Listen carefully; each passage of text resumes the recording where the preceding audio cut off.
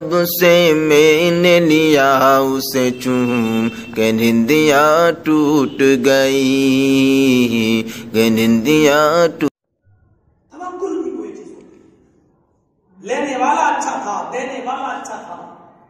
ये कह सकता था मुझे कुछ नहीं मिला, एक हज़ार दिनार और मिल सकते थे इसको। लेकिन नीयत देखिए कितनी साफ़ थी नहीं मुझे मिल गया अमानतदारी थी उनके अंदर, दयानतदारी थी उनके अंदर। और यही तो वजह थी कि जिसकी वजह से लोग धड़ाधड़, हल्का बगोश इस्लाम हुआ करते थे। हमारे पास क्या है? हालात और सिस्टम को देखते हुए जोश हमारे अंदर होना चाहिए। लेकिन अभी हमारी कौम को जोश के साथ होश की भी ज़रूरत है।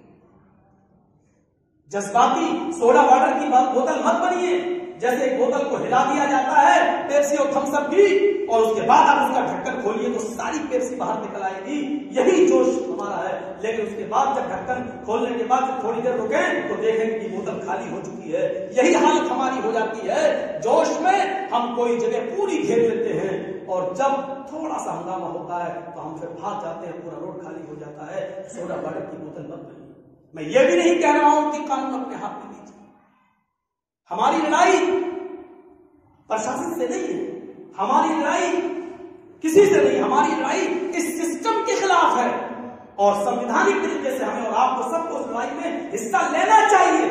संविधान के खिलाफ, जो संविधान को अपने हाथ में लेकर हमारी लड़ाई इस सिस्टम के खिलाफ है। यकीनन दफ़ा एक सौ चवालीस लगी हुई है। आप हम पर पाबंदी लगाओ। आप हमारा जुलूस न निकलने दो शांतिपूर्वक। यकीनन हमें धरने पर मत बैठने दो। लेकिन दफ़ा एक सौ चवालीस, फिर बीजेपी के लोगों के लिए भी है। फिर उनका भी जुलूस नहीं निकलना चाहिए। फिर उनका भी धरना प्रदर्शन नहीं होना चाहिए। ये हमारी लड़ाई है इस सिस्टम के खिलाफ। यकीनन हमें हमारे हमें एक आदमी को मत निकलने दीजिए हमारे घर से। लेकिन जो कानून हमारे लिए है, वही कानून सत्ताधारी लोगों के लिए भी होना चाहिए, क्योंकि हमें संविधान हमें ये लड़ाई लड़ने की इजाज़त देता है। अगर उनको परमिशन मिलेगी तो हमें भी परमिशन मिलनी चाहिए। अगर वो नारे लगा सकते हैं तो हमें भी देशभक्ति के ऊपर नारे लगाने की, अंबेडकर के संविधान को बचाने का नारा लगाने की, भारत जिंदाबाद, हिंदुस्तान जिंदाबाद के नारे लगाने की हमें भी परमिशन मिलनी चाहिए। हमारी लड़ाई इस सिस्टम के खिलाफ है। सिस्टम आपने चेंज कर दिया है। दूसरे को आप सिक्योरिटी देते हैं और एक दूसरा हो तो उस पर लाशियाँ बरसाई जाती है। मेरे प्यारे साथियों, इस सिस्टम के खिलाफ हमारी क्या है? मेरे भाइयों, यकीन मानिए, मैं आपसे कहना चाहता हूँ कि ये देश, मौलाना जर्जीस की बात याद रख लो। इस भारत के अंदर मेरी आवाज़ आजादुद्दीन ओवैसी नहीं है। हम ओवैसी को अपना हीरो नहीं मानते। हमारे हीरो वो महात्मा गांधी थे, जो राजघाट पर आज भी सो रहे हैं, आराम कर रहे हैं। उनकी आवाज़ हमारी आवाज़ है। हमारी आवाज़ इस देश का अंबेडकर, भीमराव अंबेडकर का बनाया हुआ वो कानून हमारी आवाज़ है, जिसने हमें अपनी आवाज़ उठाने का और हक लड़ने की हमें आज़ादी दी है।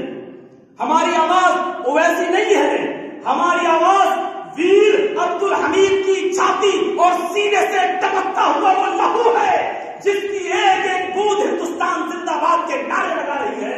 और जब तक भारत रहेगा, तब तक भारत जिंदाबाद के नारे लगाती रहेगी। हमारी आवाज़ वीर अब्दुल हमीद की छाती से टपकता हुआ वो लहू है। हमको इतनी आसानी से भारत से निकालने का ख्वाब और सपना मत देखो। ये आवाज़ है हमारी। हमें देश की गद्दार बस समझो। पचानवे हज़ार तीन सौ पचानवे हज़ार तीन सौ आदमियों के नाम इंडिया गेट पर लिखे हुए हैं जिन्होंने देश के लिए कुर्बानियाँ दी और शहादत हासिल की। आज भी इंडिया गेट पे चले जाओ दिल्ली में। पचानवे हज़ार तीन सौ आदमियों शहीदों के नाम जिन्होंने भारत के जंग आज़ादी में फ्रीडम ऑफ़ फाइटर का रोल अदा किया था और उन्होंने जंग आज़ादी में हिस्सा लिया था। पचानवे हज़ार तीन सौ।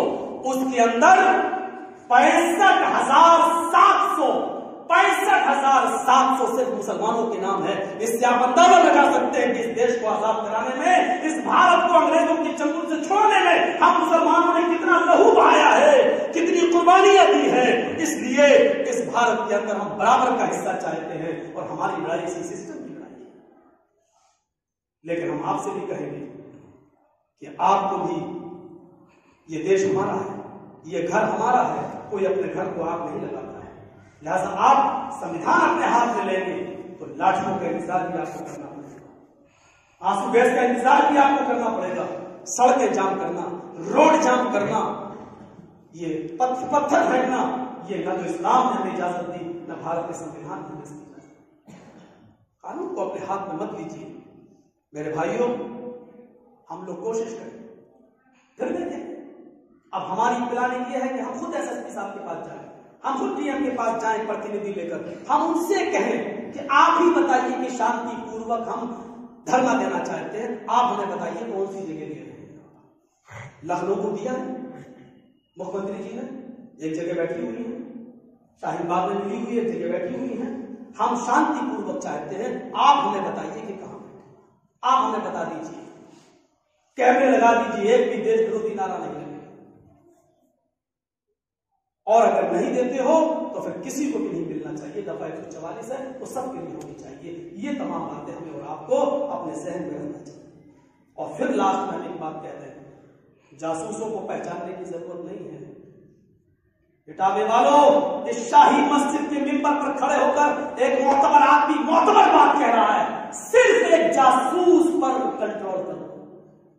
एक जासूस है बस, जो आपके मोहल्ले की नहीं किताबे की एक एक आदमी की एक एक मिनट की खबर दे रहा है। एक एक मिनट की खबर दे रहा है। इस मोहल्ले का कौन आदमी था, कहाँ था, किस तरह का था, कहाँ, किस जगह, एक ही आदमी। और उस आदमी को इतना पैसा दिया गया है कि वो पैसा दे देकर उसने अपने आदमी को लगा रखा है। ये बात मौलवी जजीज एतमाद की बुनियाद पर कह रहा है। आप इतने मालिक का बाईकाट कौम के खिलाफ अगर जंग में नहीं जा सके तो नबी अकरम ने किया। और ऐसा बाईकाट किया कि मस्जिद तक में तुम नमाज़ पढ़ने नहीं जा सकते हो।